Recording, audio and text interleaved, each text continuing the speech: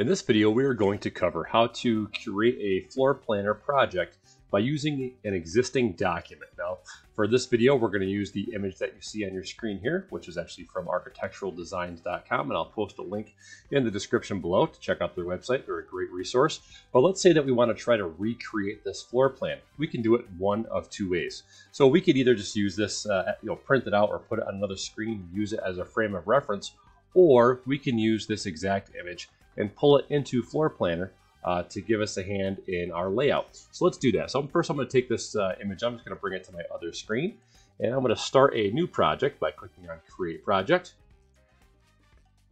And if you're a student in my class, uh, you will know how to uh, label uh, this document based on the, the project uh, description. But for here, I'm just going to put, so first dot last dash AS0901.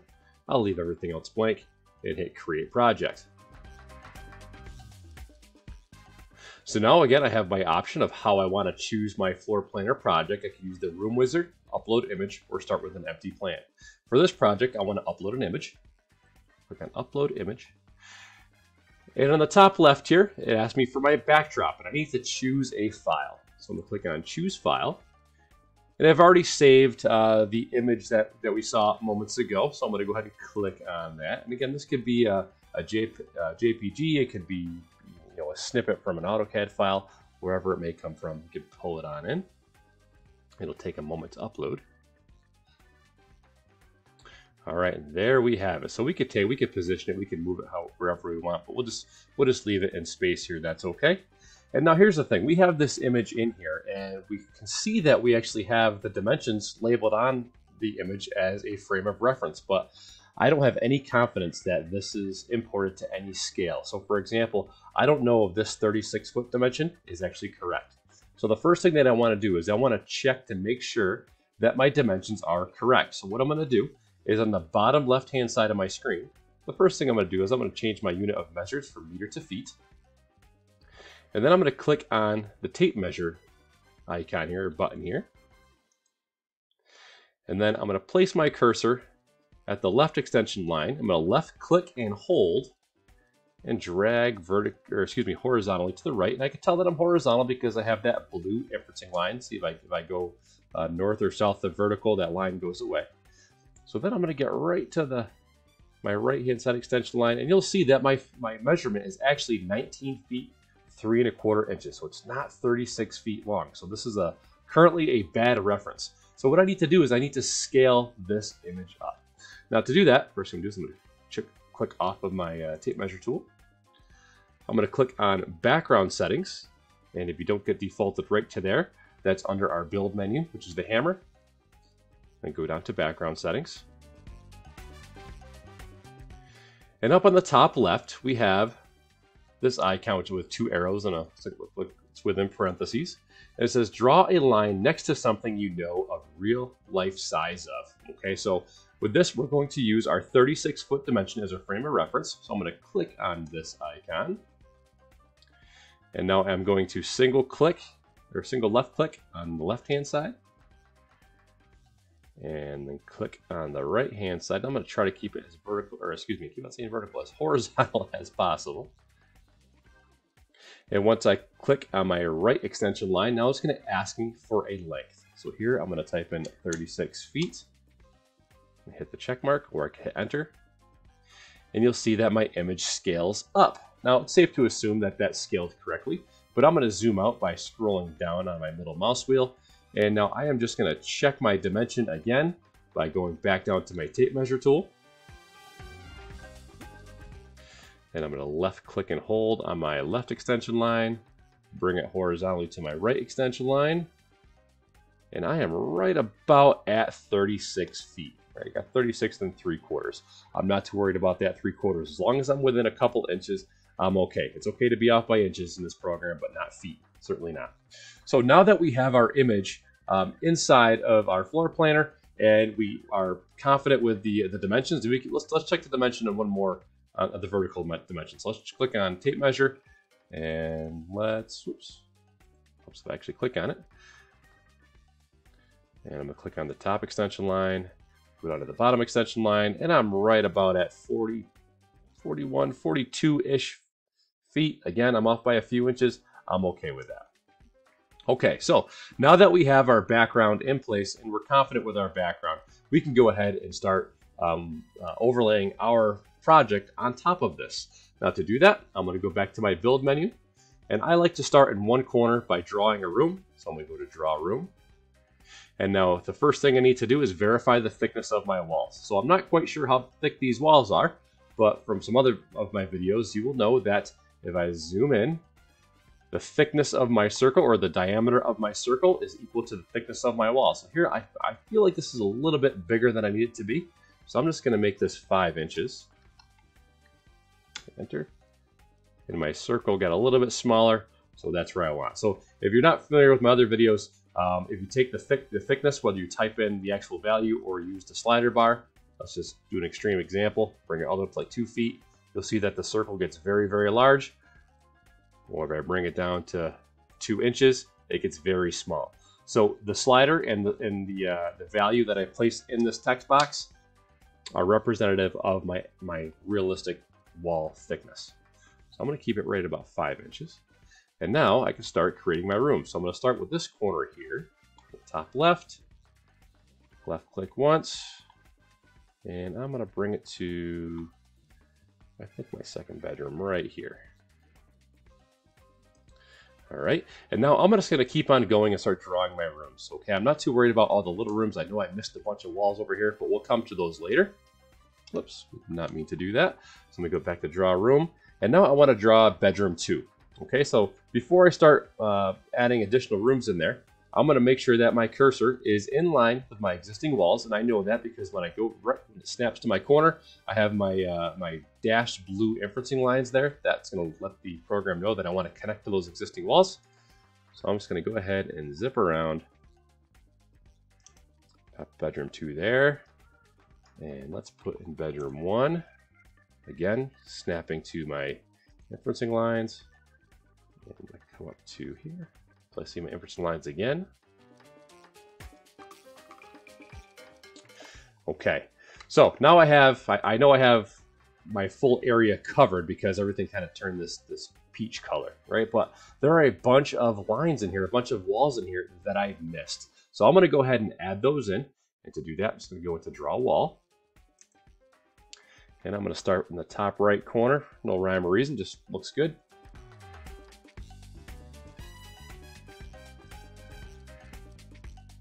Every time I connect a wall, again, I'm always looking for those inferencing lines. And I'm just going to go right around and start tracing over the top.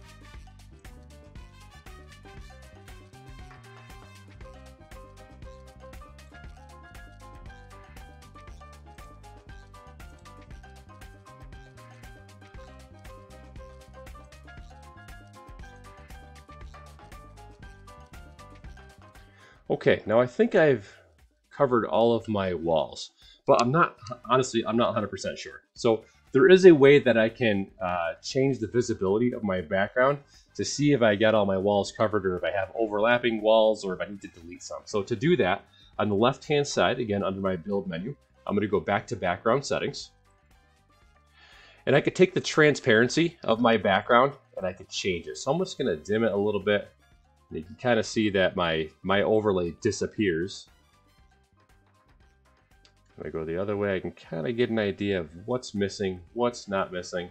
And I could even, there's some toggles up here where I can change it from hidden to visible. I could turn it right on or off. I could bring it to the front or the back, whichever, whichever it may be. So I'm going to dim it just a little bit here because I see that I have some walls that I need to delete. So for example, right here inside of the bathroom, I drew a wall that goes right through. Right there's this is a problem. because you know you don't want to you don't want to completely block off your toilet. But the great thing about this is if I just click on that section of the wall, I can delete it. Even though I drew it in as one whole wall, FloorPlanner is smart enough to know that any place I have an intersection of two walls, I may want to delete a section of that wall. So let me see if that happens anywhere else. I don't believe it does. No, we're looking good. Okay, so now that I have my walls in place, let's go ahead and add the doors in. So to add doors, again, I'm in my build menu, and I'm going to go to place doors. And your view may not look like this by default, and that's probably because you may be, I think it defaults to 2D view, and to switch between 2D and 3D view, down here there's a little toggle switch that goes from 2D view to 3D view. Personally, I like the 3D view, just so that way I can see you know, if, if doors doors have windows in them or they're solid doors, because it's kind of hard to see that in the 2D view. They all pretty much look the same. It's just the standard symbology um, for doors. So I'm going to click back over to 3D view. And let's start with a front door. Let's start with a door right here off of the porch. So I think I'm going to use, oh, let's just use this glass door. All right, so I just clicked it and I'm gonna drag and drop it about to where I want it, right there. And then if I click on the door, you'll see that the door swing is not the same as my background image. So I could change my door swing and there we have it. So let's add in a couple more doors. Let's pop in our, our rear doors back here. And let's see, what's this guy? We have French doors. Let's put in the double hung doors. No, we don't want those. We don't want to swing both ways. We want to, let's just take our French doors. Those there. And I want to use those doors again over on this side in bedroom one. So if I click on those and hit the duplicate icon, I get the same doors and I can just drag it on over. I'm not too worried about the size just yet. I'll take care of the sizes later. And let's pop in a couple interior doors just to say we did. And let's use some standard solid doors for that purpose. We'll pop one here. Again, I'll change the, the swing direction.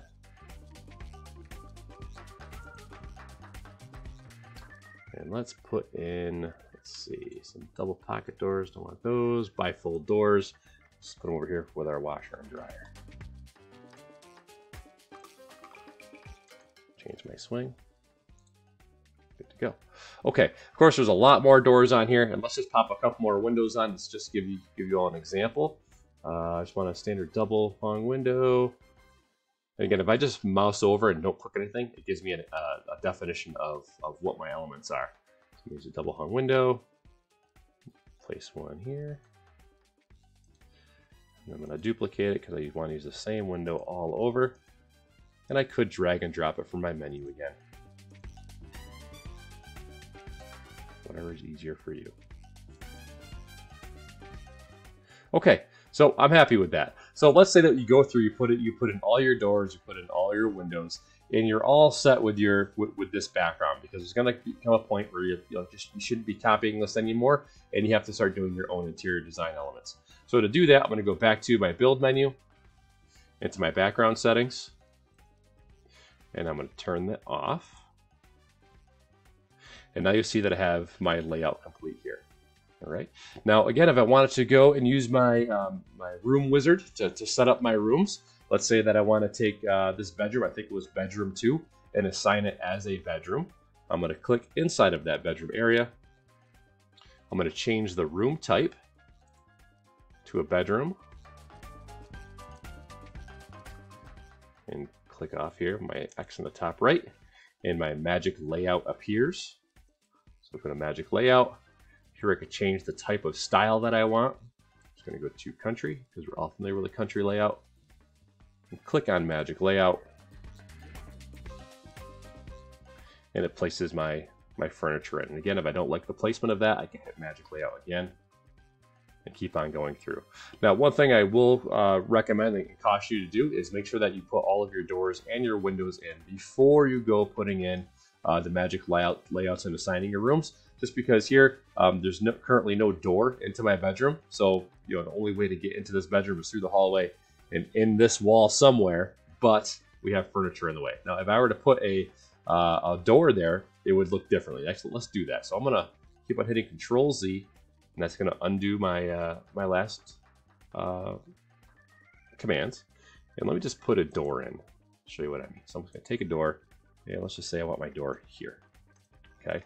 Now I'm gonna click back in my bedroom, and I'm gonna go back to Magic Layout, and let's see what happens you'll see that it rearranged the furniture to stay away from the door because it knows you can't put a piece of furniture in front of a door, it renders it useless. So having all of your doors and all your windows in beforehand, uh, before doing the magic layout and assigning your rooms is a, is a bit of a time saver and it maximizes the, uh, the most out of the magic layout feature.